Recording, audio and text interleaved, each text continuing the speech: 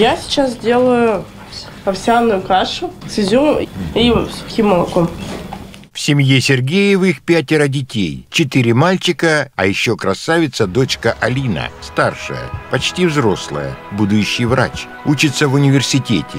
Живет на острове Русском. На выходные обязательно приезжает домой. Помогает родителям готовить продовольственные посылки для наших ребят, участвующих в специальной военной операции. Это именно вот для тех, кто в работе.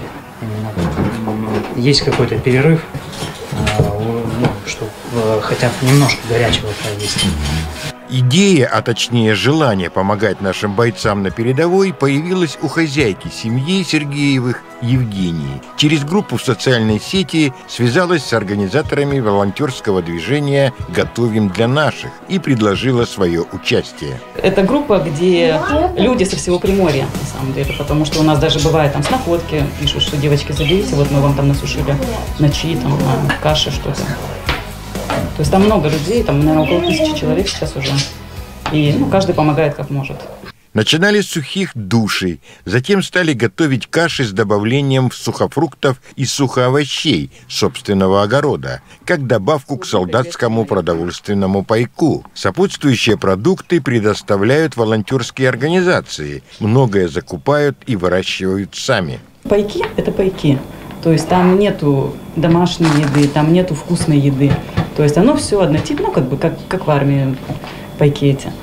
То есть, а когда завариваешь нашу домашнюю кашу, ну, как бы, ну, вспоминаешь о доме и о том, что тебя там ждут. Чтобы разнообразить солдатский рацион, Сергеевы стали больше выпекать печенье. Нашим солдатам оно очень нравится. Напоминает вкус дома и вкус детства. Мама готовит и раскатывает тесто. Мед, корица, имбирь, масло сливочное и сахар. Мальчишки при помощи специальных формочек делают заготовки, раскладывают на противень и отправляют в духовку. Технология простая, а главное, что в производстве принимают участие все члены семьи, даже двухлетний Лева. Кашу раскладывал у нас как-то так. Ну, в основном его функция не мешать. Потребность помогать тем, кому помощь нужна, появилась у Евгении неспроста. Ее брат – участник спецоперации, муж – военный пенсионер. Она сама – педагог, воспитатель, логопед. Но прежде всего она мама и пример для всех своих пятерых детей. Так мы проводим вместе время. То есть у них есть потребность провести со мной время, ну, а если я на кухне, то они тоже на кухне. А у них нет потребности уроки сделать вместе с тобой? Нет. Елисей со второго класса самостоятельный ребенок. По призванию инженер.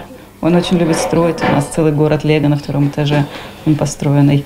Гоша, будущий военный, он первая фраза у него была «Я буду танкистом, как папа», потому что папа не танкист. По Пете пока вот мы еще не определились, кем он будет. По Алине было с детства видно, что она будущий врач. Все разные. Будущий врач Алина на примере мамы задумала со следующего семестра организовать у себя в университете группу «Готовим для наших». Желающие принять участие обязательно найдутся, а помощь лишней не бывает. Со следующего семестра начну, наверное, собирать группу, потому что СВО – это такое дело, что очень нужно и души, и каши, и супы нашим солдатам. Нам будут привозить ингредиенты для этого, будут привозить материал, и мы будем это делать.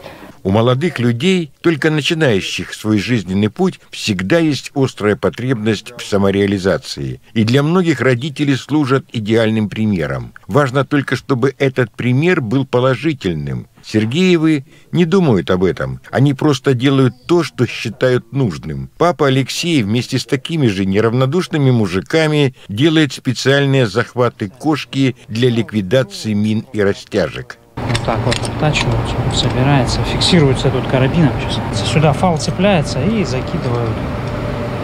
Ну это же нужно еще попасть.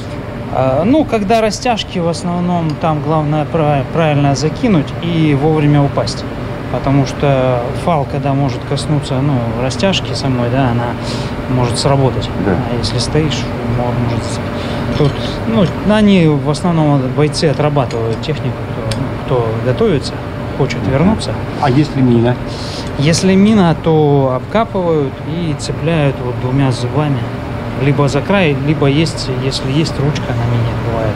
Но если нет, то цепляет прямо вот, ну, сюда и отходят на безопасное расстояние, отбегают и дергают уже лёд. Подрывают. Да, то есть потому что не то, что мина может, ее можно разменять, под ней может быть мина-ловушка. То есть на вот этом саперы попадаются, бывает, что и ну, делаем вот такую Мгм. штуку. Всего на передовую отправлено более 500 таких приспособлений. Это значит, что спасено как минимум 500 жизней наших солдат. А это чьи-то дети, отцы, братья. Свои, в общем. А своих мы, как известно, не бросаем.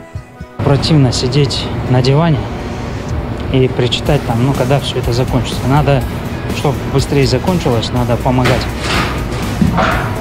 чтобы